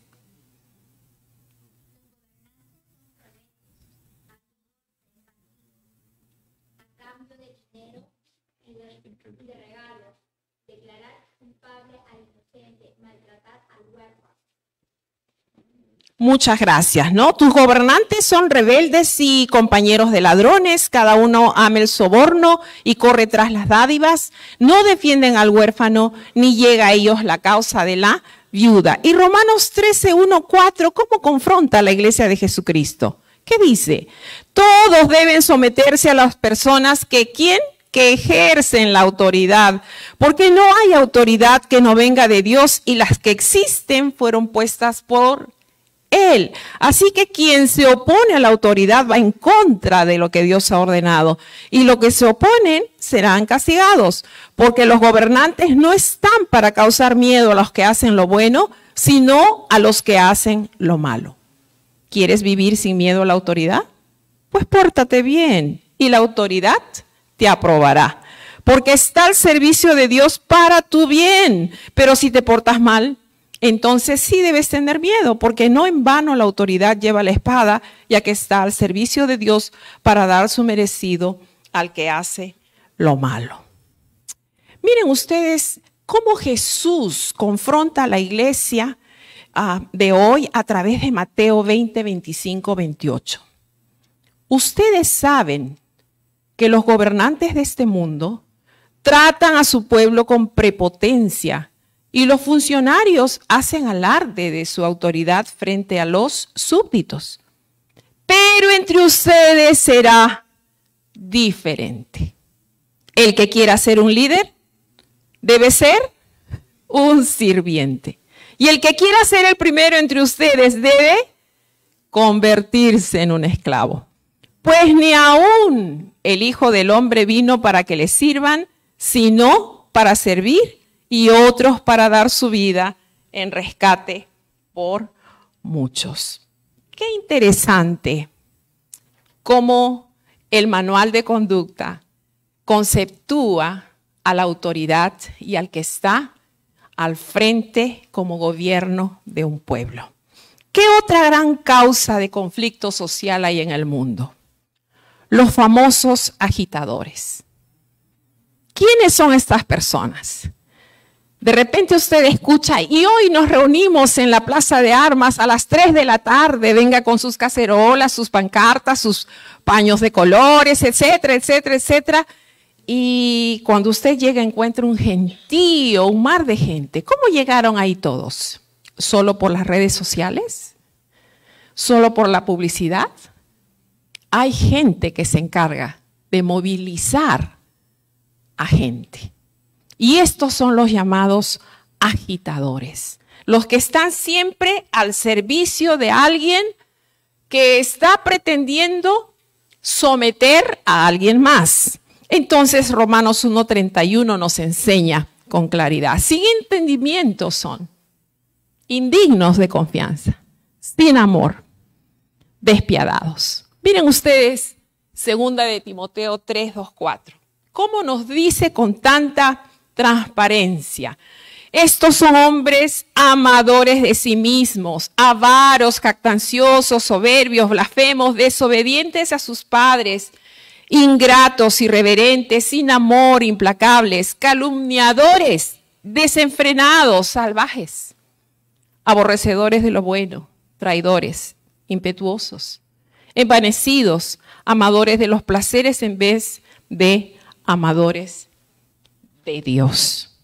Isaías en el Antiguo Testamento describe a esta clase de personas. Sus pies corren al mal y se apresuran a derramar sangre inocente. Sus pensamientos son pensamientos de iniquidad. Desolación y destrucción hay en sus caminos. Y Mateo confronta a la iglesia de Jesucristo cuando le dice, está bien, pero tú has oído que se dijo, ama a tu prójimo y odia a tu enemigo. Pero yo digo, y Jesús manda su gran mandamiento. Amen a sus enemigos. ¿Y qué? Les pregunto, esta mañana, cuando usted despertó, ¿cuántos de ustedes doblaron rodillas y oraron por su presidenta? ¿Por qué?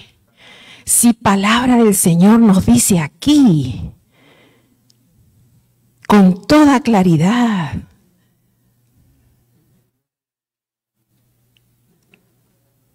Si pusiéramos en práctica lo que la palabra del Señor nos dice cada día, entonces comprenderíamos mejor el Evangelio de Jesucristo, ¿verdad? Pero yo les digo, amen a sus enemigos y oren por quienes los persiguen. Así serán hijos de su Padre que esté en el cielo, pues Él hace que salga su sol sobre malos y, y manda la lluvia sobre justos e injustos. Porque si ustedes aman solamente a quienes los aman, ¿cuál es la gracia? Hasta los que cobran impuestos para Roma se portan así, ¿no? En una comparación con lo peor de lo peor de lo peor que había en ese momento, que eran los cobradores de impuestos. Y si solo saludas a tu hermano, ¿qué cosa haces de extraordinario? Hasta los paganos se portan así. Aquí viene la palabra sabia de nuestro Señor. Así que sean ustedes perfectos, como su Padre que está en el cielo es perfecto. Y qué interesante que esta palabra perfecto no se refiere a derechito, cuadradito, bien peinadito, bien sabio. Se refiere a que seas maduro en la fe.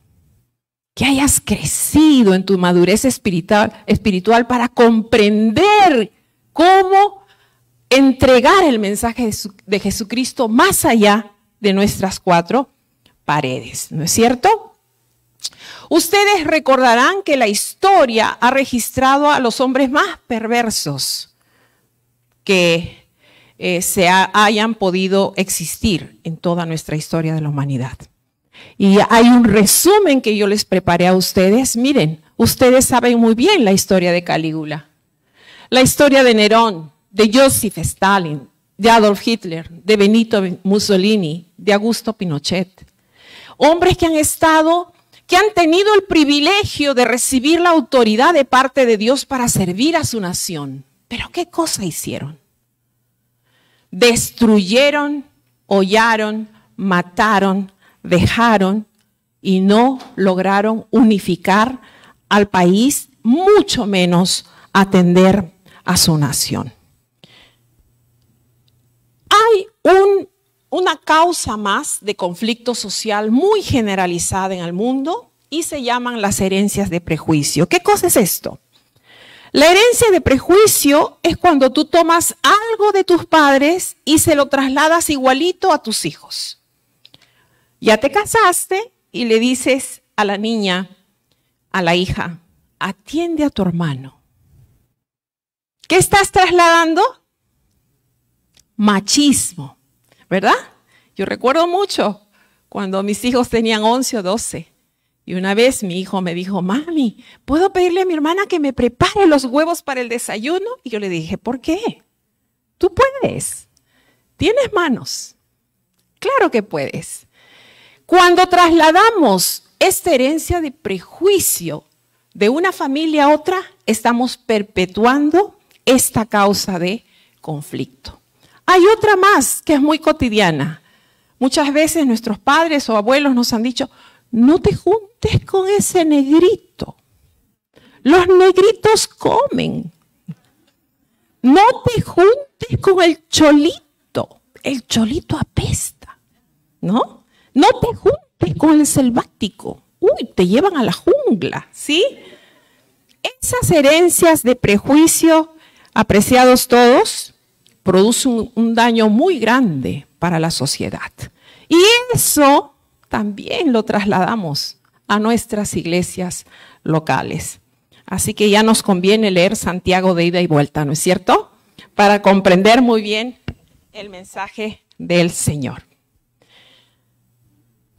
Vamos a ver lo que el apóstol Pedro nos dijo en Hechos 10, 34 al 35. Pero Pedro entonces comenzó a hablar y dijo, Ahora entiendo que de veras Dios, ¿no qué?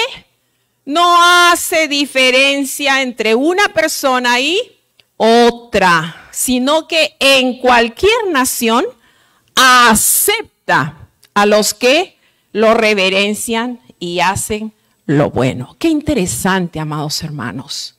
Cuán profunda es esta verdad bíblica que nos enseña que en Cristo Jesús no hay banderas, no hay naciones, lo que estaba pasando en la iglesia, el pastor Gerardo, es que estaban eh, jalando su evangelio para su posición local y no estaban considerando a los migrantes como sus hermanos en Cristo, ¿cierto? Y ahí los conflictos se empezaron a desarrollar. Ahora les pregunto, hasta este momento de la exposición, ¿has reconocido tú algún prejuicio que hayas heredado?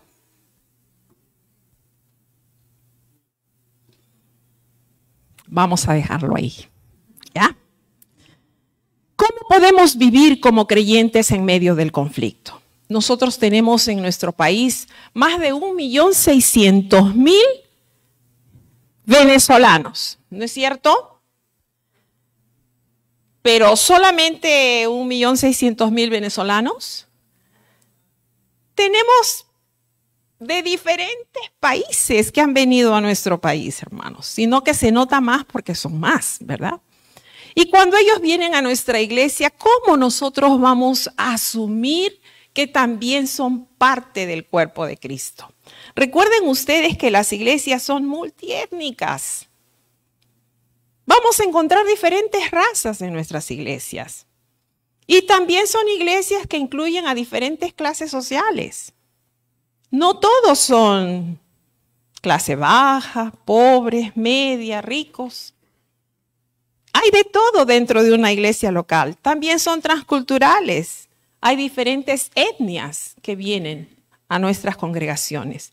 Y si fuéramos a una iglesia interdenominacional e internacional, también son regionales. Hay congregaciones donde hay norteamericanos, sudamericanos, de América Central, del Caribe.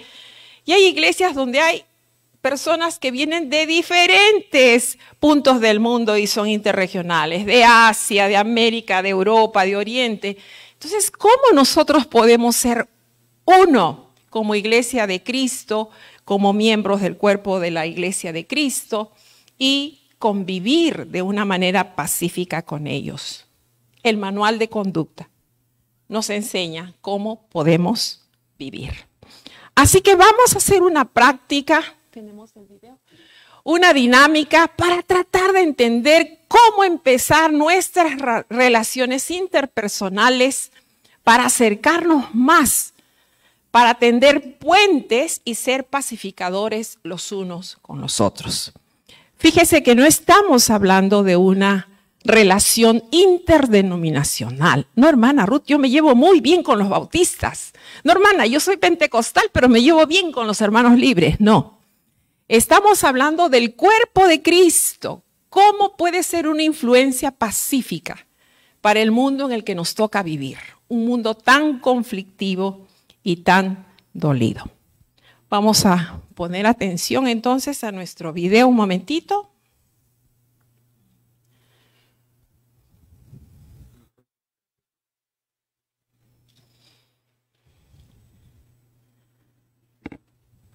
Y vamos imaginariamente a separarnos en dos partes, ¿ya? Acá tenemos una separación y vamos a imaginar por un momento que nosotros somos dos pueblos diferentes, ¿está bien? Los de esta mano y los de esta mano, ¿sí? No nos conocemos, nunca nos hemos visto y lo mejor de todo es que nos divide un gran río. ¿Tenemos el río director? Ahí está el río. ¿Pueden escuchar los sonidos? Dele volumen, por favor. ¿Escuchan los sonidos? Sí. Somos dos pueblos diferentes y hay un gran río que nos divide. Muy bien.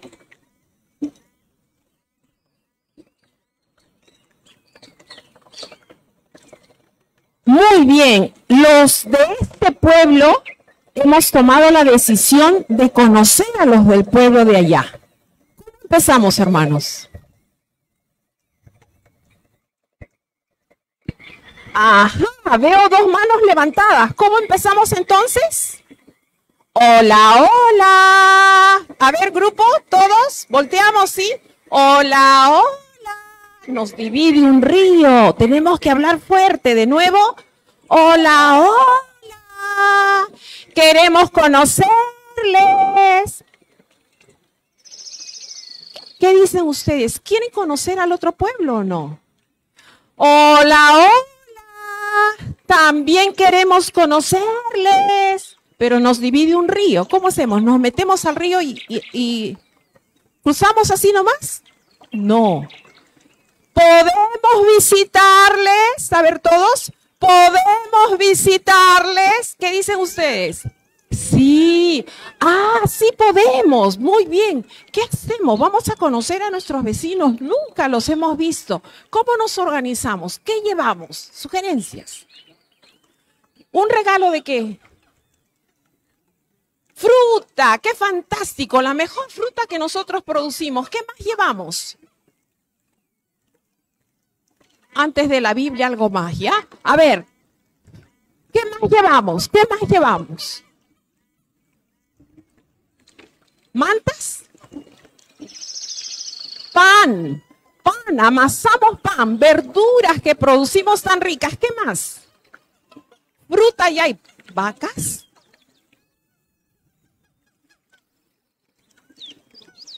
¿Qué les parece si en la visita que hacemos llevamos a nuestras mejores enfermeras? Quizás hay alguien enfermo en ese pueblo. ¿Qué les parece? ¿Sí? ¿Qué más podemos llevar?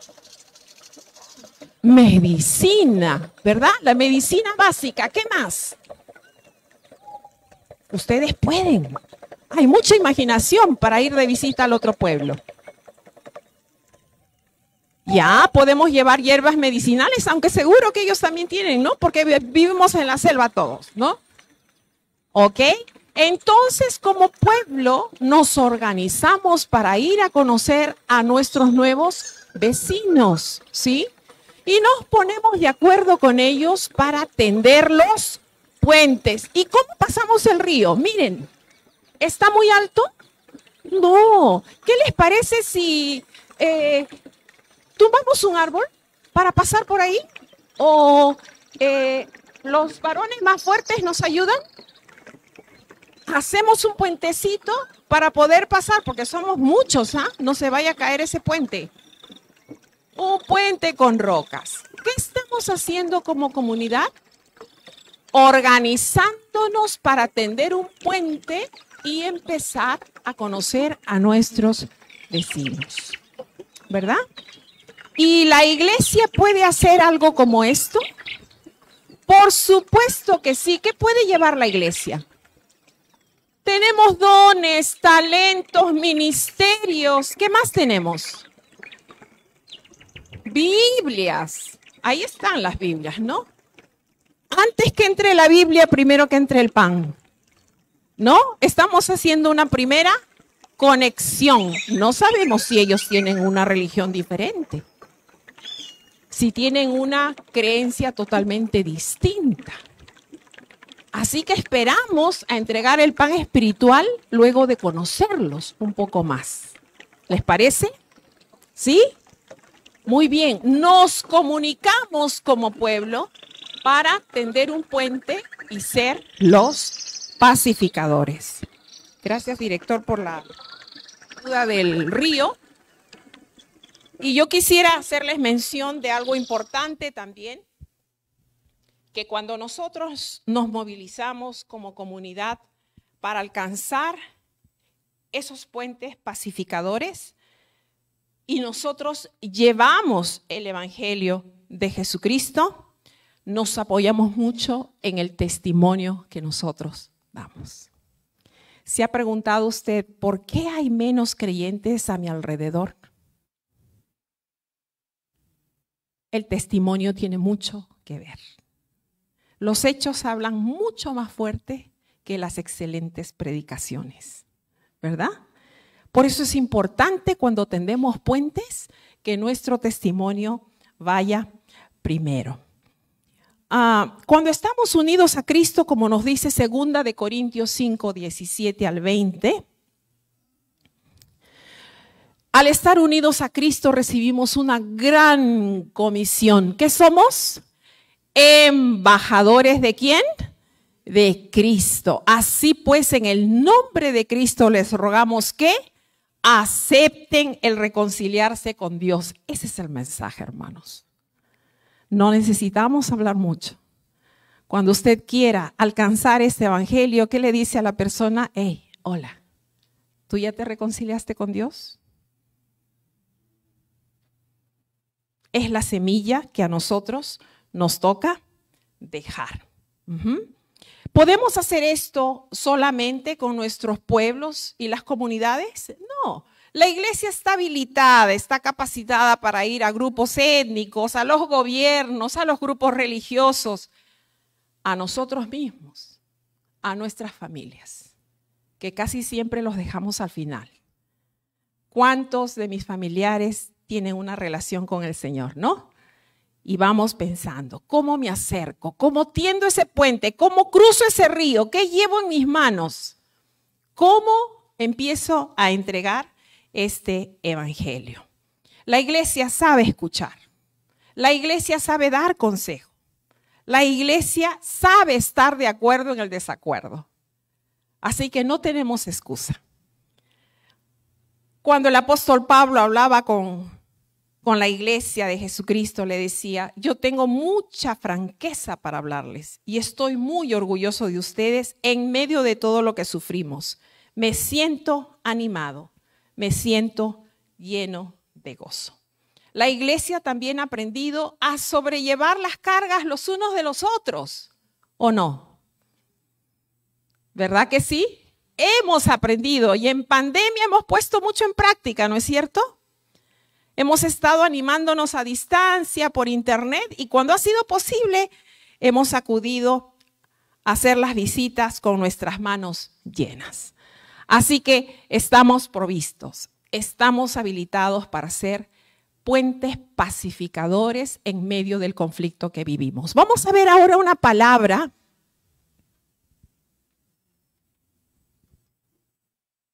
Y quisiera que tres de ustedes me digan rápidamente lo más lindo que usted piensa de esta palabra. Uno, sus hermanos. Dos, valientes. Qué excelente. Tres, diferentes. Gracias. Y vamos a ver ahora la siguiente palabra. Tres personas que puedan decir lo más lindo que piensan de los peruanos. A ver. Menos entendido. A ver, nuevamente. Esforzados, muy bien. Responsables, van dos. Amorosos, trabajadores, etcétera, etcétera. Yo sé que ustedes quieren hablar muy bien de todos los peruanos. Así somos. Imagínate como iglesia de Jesucristo, que tenemos verdades espirituales que pueden cambiar el mundo. Dios nos da el privilegio de empezar. Así que la lección hoy es, ¿qué cosa pequeña yo puedo hacer en el lugar donde estoy para ser un pacificador? ¿Cómo puedo ser yo el medio de pacificación? Quizá sacar la basura a la hora indicada. Quizá no inmiscuirme en la vida de mi vecino. Quizá interceder en oración por una u otra persona. ¿Qué puedo hacer yo desde mi lugar para ser un pacificador en medio de un mundo tan conflictivo? La palabra del Señor lo dice todo, amados, ¿verdad? Vamos a dar gracias. Gracias, Señor, por este tiempo alrededor de tus escrituras. Gracias por las lecciones recibidas. Gracias por la reflexión. Y gracias, Señor, por el privilegio de escuchar tu voz. En el nombre de Jesús. Amén y amén. Gracias. Muchas gracias, Ruth. Y bueno, hemos hecho todo un recorrido, todo un discurso. Hemos ido desde la Alianza a la U, Hemos ido por los conflictos que habían eh, en la iglesia primitiva, eh, hemos ido también por los conflictos eh, que hay entre las personas, hemos ido con los conflictos con la iglesia de hoy y hemos ido también con los conflictos sociales que tenemos en nuestro país. Ha sido una mañana bastante enriquecedora, ¿no? Ahí dice, hay un versículo que dice, donde están dos o tres reunidos en mi nombre, allí hay división, ¿no? Hay un versículo. Ah, Ah, ya. ya. Ah, no, no, no, ese versículo no, no está bien. Entonces, El Señor está en medio de nosotros y Él derribó en Cristo. No hay judío, ni griego, ni esclavo, ni libre, ni hombre, ni mujer, ¿no? De dos pueblos hizo uno solo. Y vamos a darle un presente. Voy a pedir acá al pastor Luis Meléndez de UNICEF para que le entregue un presente al pastor Heraldo García, lo mismo a la hermana Yolanda Rabines para que le entregue un presente al pastor eh, Carlos Aguilar de parte del CONEP. Y vamos a darles un fuerte aplauso a cada uno de ellos. A la hermana Runo le damos porque es de casa, ya tiene un montón de Biblias ahí.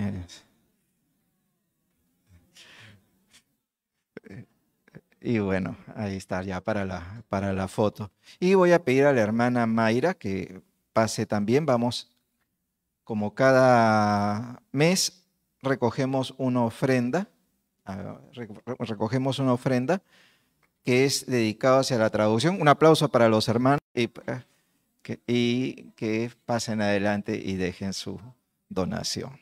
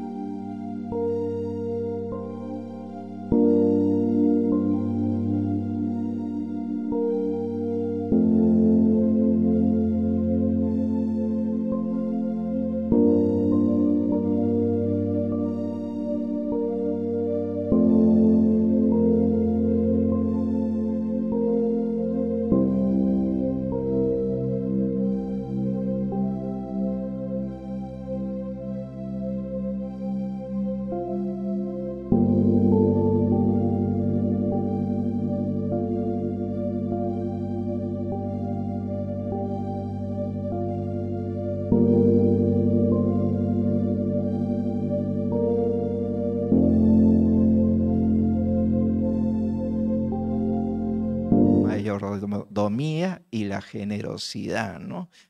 A veces, muchas veces, cuando se habla de ofrendas, solamente se, men- se se toca un versículo o dos versículos en la iglesia, ¿no? Se toca Malaquías y por ahí se toca otro versículo. No, acá vamos a recibir una clase con una sola persona a profundidad, una persona que desarrolla esta temática en varios días, lo va a hacer esa mañana para ustedes en forma concisa. ¿no? Y eh, es una experta consultora en este tema es de la Alianza Global Wycliffe y es una necesidad de la iglesia. ¿Para qué? Para motivar a la iglesia a ofrendar. ¿no? Entonces el expositor es Nidia Smith y eh, la entrada es libre también, ¿no? Y para que, vengan también a las ocho y media para que puedan eh, servirse el desayuno autoservicio, porque si llegan a las nueve ya no encuentran nada, los que llegaron más temprano se lo comieron todo. Y bueno, vamos a, ponernos en pie ya para terminar. Y voy a pedirle al pastor Luis Meléndez que pase aquí adelante para cerrar esta reunión en oración.